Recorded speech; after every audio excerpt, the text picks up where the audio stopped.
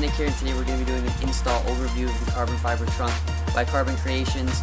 I did an install video of it, but unfortunately the footage was lost on my computer, and it just wiped out my SD card, so I'm going to be doing an install overview, going over everything that happened when we were installing the trunk, and uh, hopefully it'll help you guys if you're installing a carbon fiber trunk onto your car.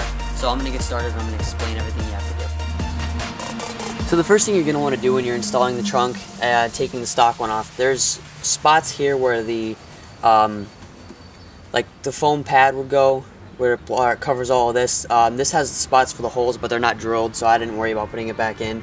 But there are clips here, here, here, and here, all these spots that hold it in place. And a lot of people don't know that this car comes with a screwdriver, and when you take it out and put it back in the opposite way and turn it around, you have a clip popper, so you can pop the clips for like say you want to do the springs on the car. You can pop out all those panels with all the, the clips with this. So pop out all the clips, take this down, and then your wires here are going to be installed up on these clips up here. You're going to want to pop them out, and so you can feed it down through. I don't know if I can see it on the camera, and I'll turn it. You take all these down and you feed it down through this hole right here so that everything's disconnected and the trunk can come off. Um, the next thing you're going to want to do after you do that is put the camera down.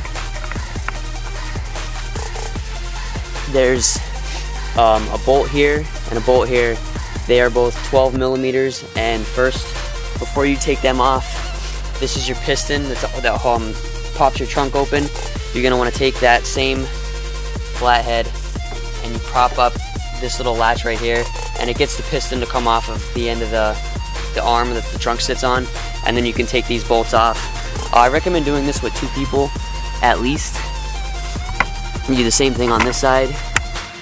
If you do it with two people, it's much easier because then you can have one person loosen on the other side and one person on the other and it makes everything much smoother.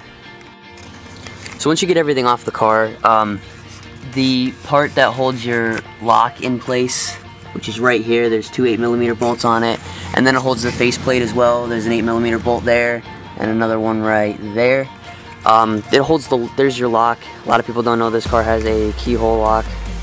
And um, that goes to the stock part. I did reuse the stock blue piece because I like the way it popped with the paint and it looked pretty nice. So I kept it like that, but you have to take 8 millimeter bolts. There's like four or five of them up there that you have to come off so that you can swap it onto the other trunk and then again feed the wires up through this hole down here all the way th all through here. And then that's pretty much all you have to do there when you're swapping everything back to the trunk. Um, then after you do all that all you have to do is bolt up the trunk back to the arms and put the pistons back on uh, right here. The only problem that I had fitment wise with getting the trunk back, put back on was uh, the hole here wasn't drilled far enough, so we used washers right there as a space holder so that it would tighten down properly. And when you put the pistons back on, you all you have to do is just push it back over this little nipple thing that's on the arm. Do the same thing on this side, and then everything is all good. Screw everything back on, and then we have to shut the trunk, and we'll show you guys what it looks like. So this is what it looks like on the car.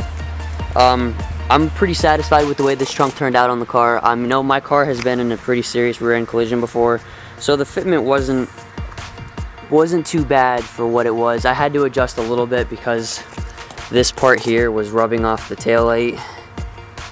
This part right here, but everything else turned out pretty well. Um, again, I didn't have the nuts to drill through the trunk, not yet anyway. Maybe if this doesn't work out, but my license plate is actually 3M double side sticky taped on and it's holding pretty well. Haven't had an issue with that. But that's pretty much all you have to do to install this trunk onto the car. It's pretty simple install with two guys. You can get it done in about an hour to an hour and a half, depending on if you know exactly what you're doing or not. But I am very satisfied with the way this turned out on the car. I love the little subtle ducktail spoiler that it has, which the stock trunk doesn't. So yeah, this is just uh, what the trunk looks like on the car. So yeah, guys, again, that's about it. Uh, I want to thank you guys so much for watching, and I apologize that the footage was lost on the actual install.